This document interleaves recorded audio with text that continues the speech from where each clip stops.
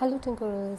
So today I'm going to talk about the fun area that you get inside your Jingle Home kit.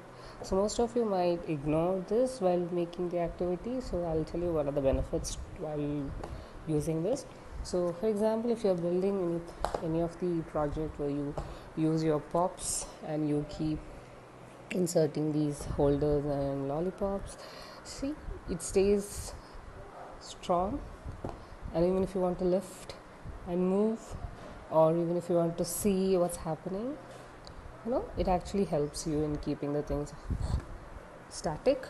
And another thing even if you're building multiple activities where you keep using you know numerous things it is easy for you to take it from one place to the other or maybe maybe even rotate you know so that this actually helps you in keeping everything static. So it's always better to have the metal board while performing the activity, except for the activities which requires movement and things like that.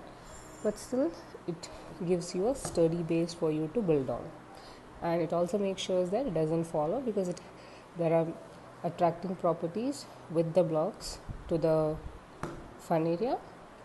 Okay, so happy tinkering.